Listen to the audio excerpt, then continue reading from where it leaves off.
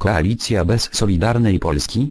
Gowin zabrał głos Jarosław Gowin. Autorytet prezydenta może pomóc w utrzymaniu koalicji. W ciągu dwóch tygodni wyjaśni się, czy liderzy Zjednoczonej Prawicy są w stanie sami osiągnąć kompromis. Jeżeli nie, być może pojawi się przestrzeń na inicjatywę pana prezydenta Andrzeja Dudy, powiedział w gościu wydarzeń, w Polsat News lider porozumienia Jarosław Gowin. Jak stwierdził, pojawiły się pewne zadrażnienia.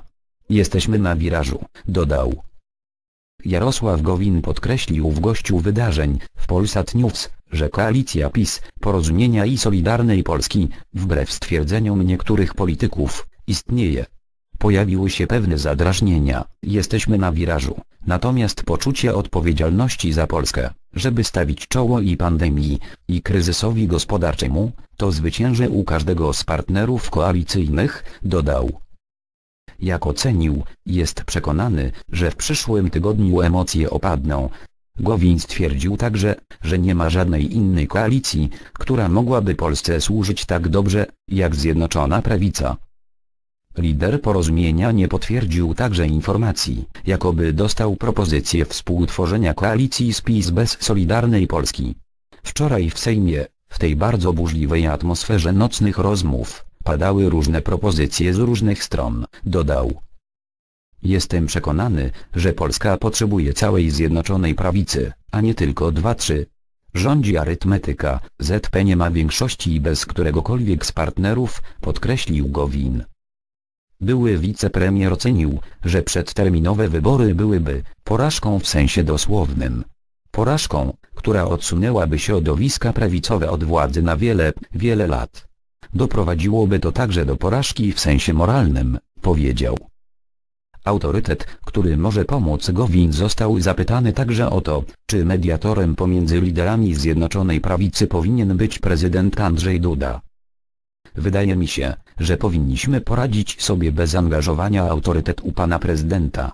Jeżeli by się okazało, że liderzy nie są w stanie zbudować wspólnego mianownika, prezydent Andrzej Duda jest autorytetem, który może pomóc nam przywrócić dobre relacje w koalicji, odpowiedział.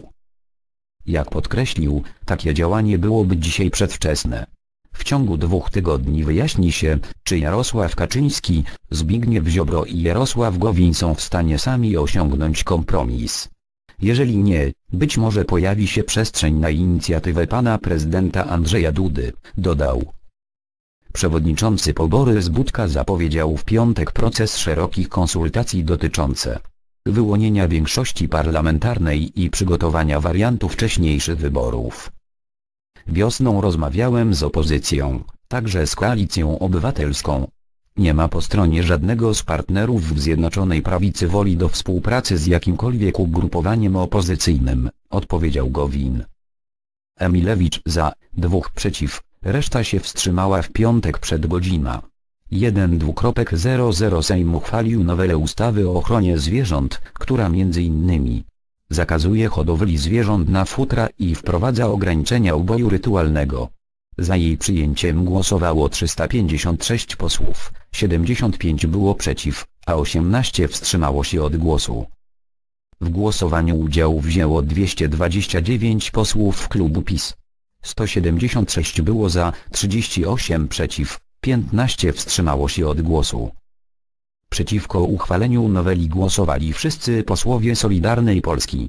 Z porozumienia przeciwko opowiedzieli się Andrzej Sośnierz i Mieczysław Baszko, a 15 kolejnych posłów porozumienia, w tym lider ugrupowania Jarosław Gowin, wstrzymało się od głosu.